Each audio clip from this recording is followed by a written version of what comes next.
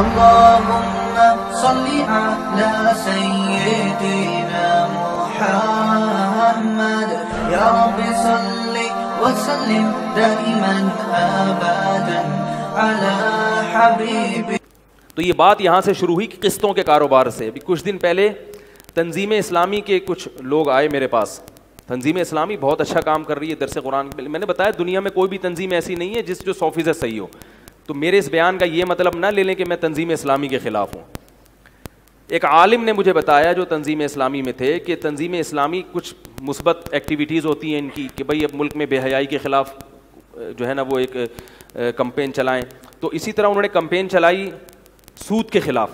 سود کے خلاف کمپین چلائی، آپ نے دیکھا ہوگا، جگہ جگہ پوسٹر لگے ہوئے تھے۔ بہت اچھی کمپین تھی وہ، میں بھی خوش ہوتا تھا، یار ماشاء اللہ یہ لوگ بہت اچھا کام کر رہے ہیں۔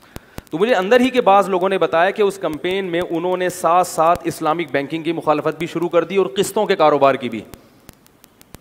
کہ یہ بھی وہی ہے، کوئی فرق نہیں ہے۔ اور اس سے کیا ہوا کہ لوگ علماء سے بدگمان ہونا شروع ہو گئے۔ کیونکہ علماء کیا کہتے ہیں، قسطوں کا کاروبار کیا ہے؟ اب کیش پہ کوئی چیز ہمیشہ سستی ہوتی ہے اور قسطوں پہ مہنگی۔ تو وہ کہتے دیکھو، ادھار پہ نفع اٹھا رہے ہیں۔ تو یہ کیا ہو گیا؟ سود ہو گیا۔ خیر تنظیم اسلامی میں جو چند علماء تھے، انہوں نے اس چیز کو روکا، ورنہ تنظیم اسلامی ٹھیک ٹھاک بدنام ہو جاتی۔ انہوں نے روک لیا اس چیز کو، اچھی بات ہے۔ لیکن روکا کس نے؟ جو باقاعدہ مدرسے سے فارغ تھے۔ بھائی ایسا نہیں ہے۔ تو میں یہ کر رہا ہوں، کیوں؟ اخلاص ہونا کافی نہیں ہے۔ آپ اگر سود کے خلاف بھی کمپین چلا رہے ہیں، تو آپ کو سود پہ باقاعدہ عبور ہونا چاہیے کہ سود کی ڈیفینیشن کیا ہے۔ عوام پتہ ہے کس پہ جاتی ہے؟ حکمتوں پہ۔ عوام کہتی ہے، دیکھنے میں چونکہ ایک جیسے لگ رہے ہیں، کیونکہ سود کا مقصد جو ہے یعنی سود میں جو خرابیاں ہیں، وہی قسطوں کے کاروبار میں خرابیاں پائی جا رہی ہیں۔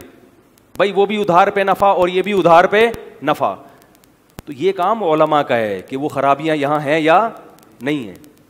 بعض کہتے ہیں انہوں نے ہیلے اختیار کیے ہیں۔ تو یہ علماء جانتے ہیں کہ کون سا ہیلا جائز ہے اور کون سا ہیلا عوام کے پاس یہ حیرت کی بات ہے، کوئی ڈاکٹروں کے کام میں ٹانگ نہیں اڑاتا۔ حکیموں کی فیلڈ میں کوئی ٹانگ نہیں اڑاتا۔ انجینئر کے کام میں کوئی ٹانگ۔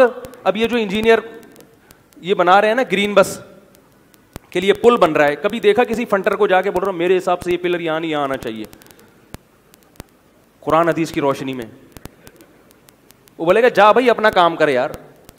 کوئی بھی نہیں سنے گا۔ سعودی عرب میں بھی نہیں سنتا کوئی۔ جو کہتے ہیں نا سعودی عرب جو ہے نا بالکل قرآن حدیث پر عمل کرتے ہیں، وہاں بھی مفتی کا فتویٰ مانا جائے گا۔ وہاں کسی شخص کو انفرادی طور پر قرآن حدیث کی روشنی میں فتویٰ دینے کی ضرورت یعنی اجازت نہیں ہے۔ وہاں بیٹھ کے کوئی کہنا میں قرآن حدیث کو مانتا ہوں اور میں کسی مفتی کے فتوے کو نہیں مانتا۔ حکومت فوراً اسے کیا کر دے گی؟ ارسٹ کرے گی، گرفتار کرے گی۔ تو کون ہوتا ہے؟ یہ یہ یہ اتنے جو ہم نے ادارے کھولے ہوئے ہیں، یونیورسٹیاں کھولی ہوئی ہیں، یہ بیکار کھولی ہوئی ہیں۔ یہ صرف ہمارا ملک ہے جہاں فری جھوٹ ہے، کوئی بھی اٹھ کے جعلی حکیم بھی بن جاتا ہے، جعلی ڈاکٹر بھی بن جاتا ہے اور جعلی مفتی بھی بن جاتا ہے اور پبلک کہہ رہے ہیں، بات چونکہ دلیل سے کر رہا ہے، لہٰذا اس کی بات میں دم ہے۔ تمہیں پتا کیسے چلا کہ دلیل سے کر رہا ہے کہ نہیں کر رہا؟ تمہارے پاس اتنا علم کہاں سے آ گیا؟ تمہیں کیسے پتا چل گیا کہ یہ جو بات کر رہا ہے، یہ واقعی مستند ہے؟ دیکھو، دلیل کو پہچاننے کے لیے بھی کچھ صلاحیت ہونی چاہیے۔ آپ کو پتا ہو نا کہ دلیل کی قسطوں کا کاروبار، سود وود نہیں ہے۔ تو یہ جو کہتے ہیں نا کہ سود ہے اور اس میں یہ تو ویسے ہی ہے، اس کی اتنی بے وقوفوں والی دلیل ہے، یہ اس کو سود قرار دینا بھی میں اس پہ جاؤں گا تو بات، یہ جو قرآن میں آتا ہے نا، احل اللہ البیہ و حرم الربا، جب سود حرام ہوا ہے نا تو مشرقین نے یہی اعتراض کیا تھا کہ قسطوں کا کاروبار تو جائز ہے بھائی، اور سود حرام ہو گیا۔ تو اللہ نے اس پہ آیت نازل کی، احل اللہ البیع، بے حلال ہے، کیونکہ اللہ نے حلال کیا اس کو۔ چاہے وہ قسطوں پہ ہو یا کیش پہ، ہے تو وہ بے۔ جب خرید و فروخت کا ایگریمنٹ ہے تو وہ جائز ہے۔ اور ربا کیا ہے؟ حرام ہے۔ تو یہ تو آیت کا شان نزول ہی بتا رہا ہے کہ جو بے ہوگی وہ حلال ہوگی اور اس کے علاوہ جو سودی ایگریمنٹ ہے وہ کیا ہوگا؟ حرام۔ مفتی طارق مسعود صاحب کے بیانات سننے کے لیے YouTube dot com slash Mufti Tariq Masood کو سبسکرائب کریں۔